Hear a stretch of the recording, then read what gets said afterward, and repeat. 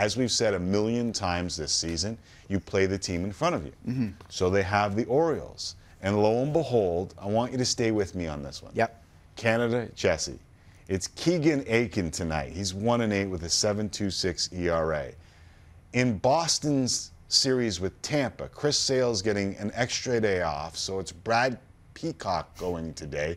He hasn't pitched in the majors this year. He's going on short rest from pitching on Friday for Cleveland's AAA affiliate.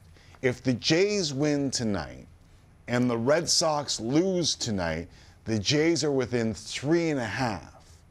You and I have been talking POF, and the Jays going into tonight have an 11.2% chance, according to Fangraphs. After Friday's Funny how that death jumps, nail eh? game, it was 4.6.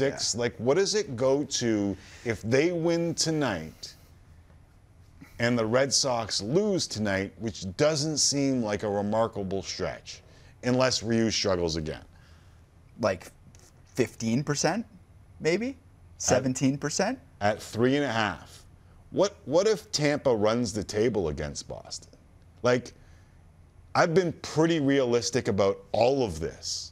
I'm not saying they're making the playoffs, but we might have a situation where it seems a lot more palatable to even suggest that they're still in the playoff hunt.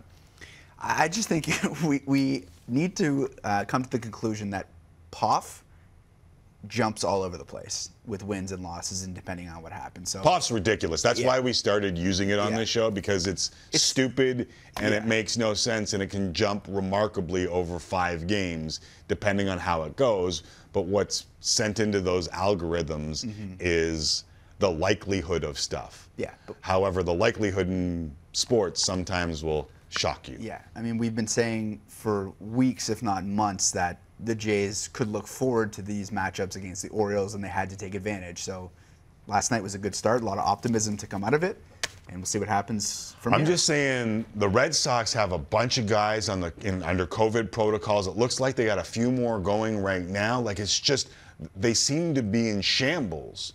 And that might make it tough when you're playing a good team. Yeah. So it looked like, hey, if Tampa took three or four from Boston, maybe what if Tampa takes four or four from mm-hmm. Boston? All of a sudden, you got yourself a game. Then you got Oakland coming. I'm not getting ahead of myself. I'm not playing this game. Poff's ridiculous. But when you take care of business, these type of things, these type of conversations take place, and I'm allowing it right now. I am allowing Jays fans to wonder about the possibility if the Jays keep taking care of business.